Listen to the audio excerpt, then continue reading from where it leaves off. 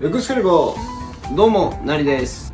今日は背泳ぎのストローク4分割で考えるっていう考え方を、解説していこうかなと思います。1番のところ、まず入水ですね、いろんな入水の仕方が多分あると思うんですよ。親指から入水する人だったりとか、もしくは手の甲から入水する人だったりとか、小指から入水する人だったりとか、ね、いろんなパターンがあると思うんですけど、僕が一番、おすすめしてるのが、そのまま自然にもう上げてきた方がいいです。で、小指から入れちゃうと内旋しちゃうんです。内に入った状態でぐるぐるぐるぐる回してると肩って旧関節っていう風になっててこうぐりぐりぐりぐり動かすとやっぱりここの関節と関節の間のところがすり減っちゃってここで痛みがすごい出てしまうようになっちゃうんですねスイマーズショルダーとか肩関節インピンジメントとか言うんですけど怪我につながるデメリットがあるのでなるべく小指から回さない方がいいと思います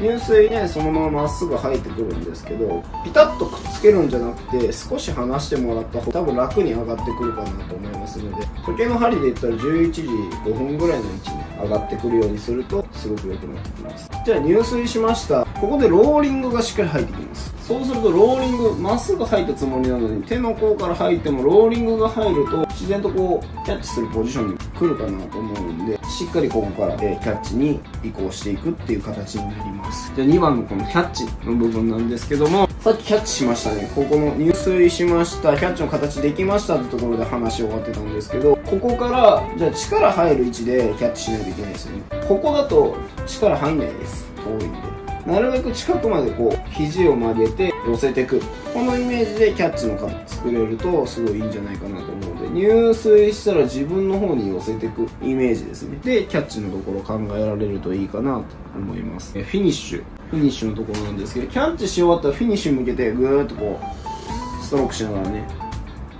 こう掻いていくんですけど書き終わりのところフィニッシュのところですね。よくねこのまま肘がこうキャッチの時に曲がった状態ができるんでこう下に押さえつけようとする子がねたくさんジュニアの選手でもいてるんですけどこれはあんまおすすめしなくてキャッチしてそのままぐーっと持ってきたら最後のところこっち向けてやるとこう下に返すんじゃなくてこのままキャッチしたままぐーって押して手のひらをずっと向けて向けて向けて向けて向けて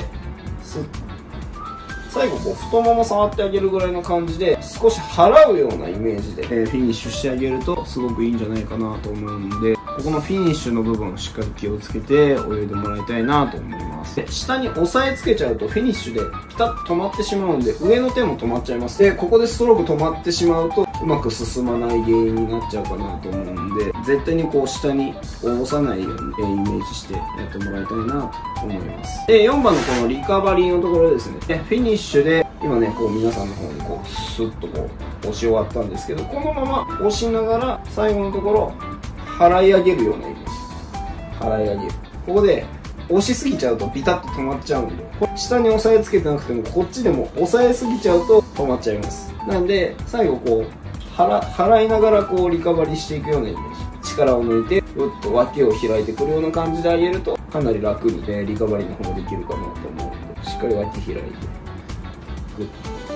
こんな感じで上げれるといいんじゃないかなと思います、えーこんな感じでね今日は4分割にして考えていきました、えー皆さんねいろんな入水の仕方いろんなキャッチの仕方いろんなフィニッシュの仕方、えーリカバリーの仕方あると思うんですけど、えーまず自分がやりやすい形を探すっていうのがすごい大事かなと思うんで自分のやりやすい形を探した上でじゃあいろんな形でちょっと試してみる。でどれが一番やりやすいのかなっていうのを確かめてもらうっていうのが一番かなと思います、えー YouTube もねいろんな方が、えーいろんなノウハウを、提供してるかなと思いますんでぜひ僕のも参考にしていただいて、見ていただけたらいいのかなと思います。よりね考えを深めたい方はぜひパーソナルレッスンもやってますので概要欄からリンク飛んでみてください。それでは次回の動画でまたお会いしましょう。バイバイ。じゃない。エクスカリバー